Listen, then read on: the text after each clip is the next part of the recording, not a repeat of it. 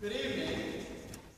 Uh, I'm Dr. Tim Reynolds. It's so, so uh, pleasant to be with you this evening and share both with students, with community members, and with, of course, uh, our colleagues and administrators of Oklahoma State University. A very special thing, and of course, in a very special setting. Uh, so it's our honor. The next work is called The Conversion of Saul. Course, as the story goes, at the beginning, it's about Saul, who is uh, the chief executioner for the Roman government. And he, uh, at the beginning, it's actually, he is over a stoning. So you'll hear the music very, in a pounding way, uh, very, very virile type of sound. And then, uh, and it actually sounds a bit like this. Maybe we should give them a little taste of this. They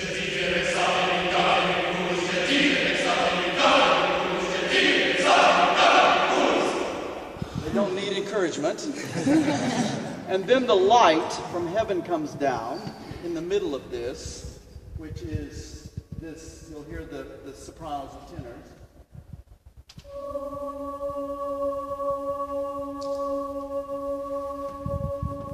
So in the middle of this almost cacophony, you have this something that just sort of breaks it in two and presents something else into the story. And then the third is actually uh, the uh, voice of God uh, coming down and saying, Why do you persecute me? Go ahead. Why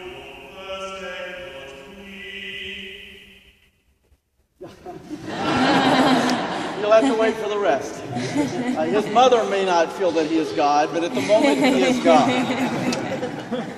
and then the conversion itself takes place, and it, it ends with this uh, rather solemn but beautiful uh, chord here at the end. Let's just do our final chord.